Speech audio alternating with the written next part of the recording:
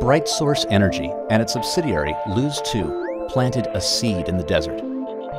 That seed, a breakthrough for harnessing solar power, has taken root as a working plan for the future of sustainable energy. The plan continues to grow today as BrightSource develops commercial solar thermal power plants to provide large utility companies with clean solar energy.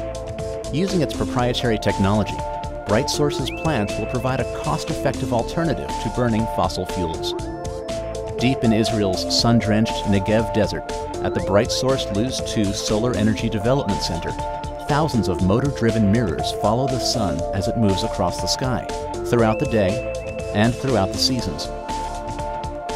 Solar power plants harness the sun much like a camper uses a magnifying glass to start a fire.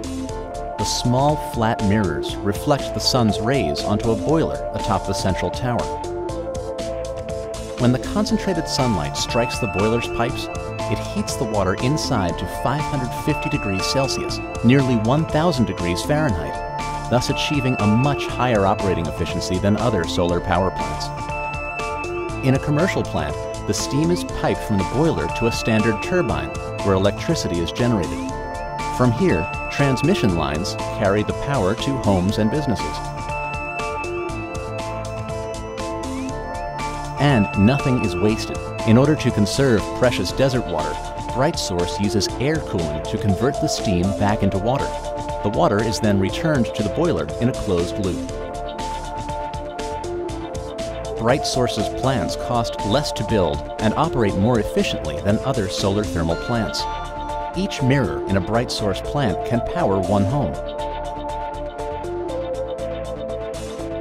A plant the size of the Solar Energy Development Center could produce 1.5 megawatts, enough to power 1,100 homes and reduce carbon emissions equivalent to taking 400 cars off the road. BrightSource's first commercial plant will generate 100 megawatts. Our Ivanpah complex in Southern California will generate 400 megawatts.